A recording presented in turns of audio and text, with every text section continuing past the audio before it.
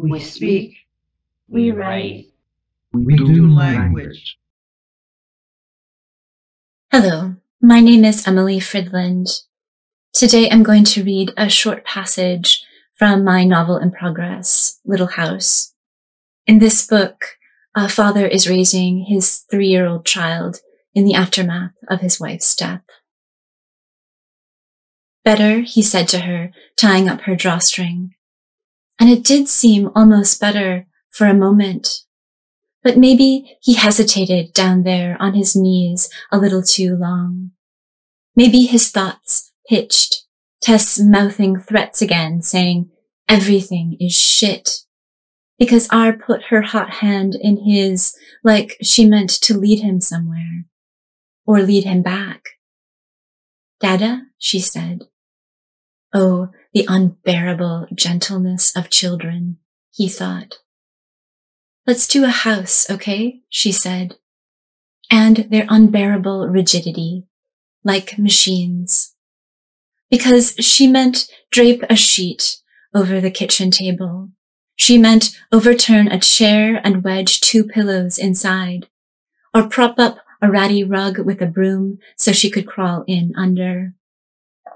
It had been her one obsession since Tess died, building houses, building houses inside houses. She meant, let's make a little cave for my body. Let's build something just big enough and small enough at once that only I can fit inside.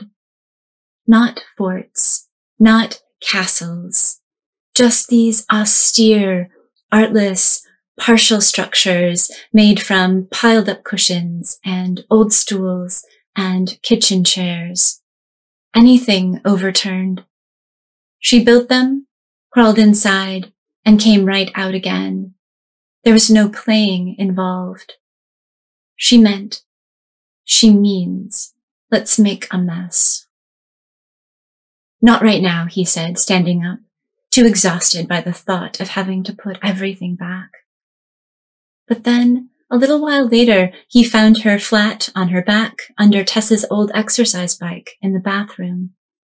She'd balanced the bath mat on the seat and opened up a big coffee table book over one handlebar. A roof. Later still, she dumped out the laundry basket and crouched down low inside its plastic mouth. And then, dissatisfied, clambered out and wormed in under the pile of dirty clothes on the floor, shoring up a house of pants. Before dark, they went outside to play, and she lay down in the most overgrown part of the garden.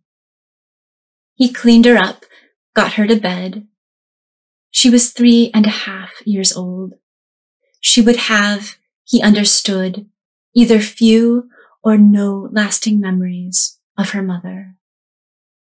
He took a beer from the fridge, went outside to cry alone, then came back in and found her sitting, legs out, on the kitchen tile in just her pajama bottoms. Whoa, she said as he approached.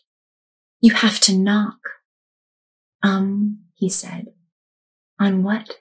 He wondered. On what? She was sitting in the very center of the empty room, you know, went her look. On her own little body, he thought, or maybe the opposite.